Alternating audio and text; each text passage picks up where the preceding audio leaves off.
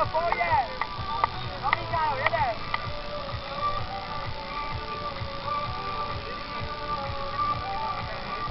startu máme Břežany s PS12. Pojďme je pozbudit.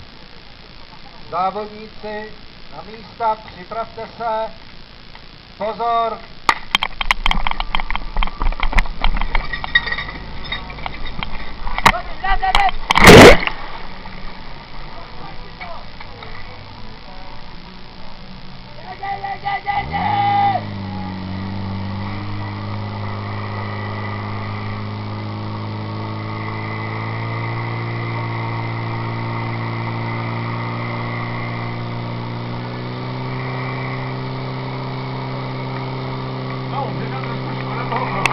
to vypadalo napravit trošku líp, tak 27,60.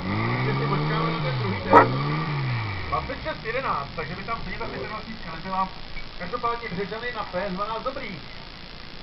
27,69.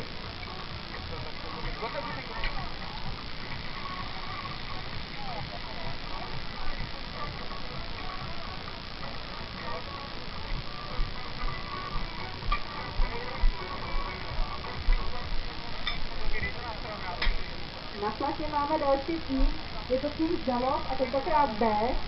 A na chlapci uvidíme Zdeňka Štěpánka, na stavici Tomáše Šelindra, na stroji se postaví Mirek Pekárek, Bčka roztáhne Ruda Kostul, rozdělovač podese Honza Bělek pro půjčen Přibyši a proudu si zaběhne Mirek Sobocký a Honza Kles. No, než se podíváme na Dalovy B, tak já bych rád poděkoval borcům z Přibyšic, kteří doplnili potřebnou dávku cukru pro mě a zachránili mě kteří glykemickým šokem, až to jenom říct.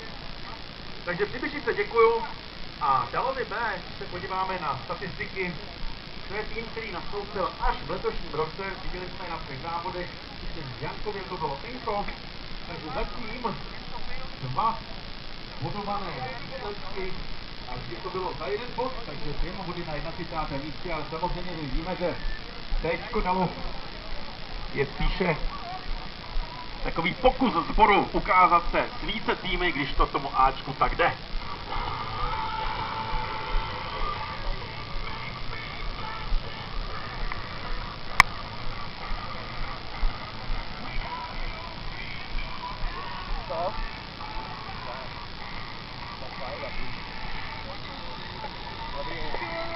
Thank you.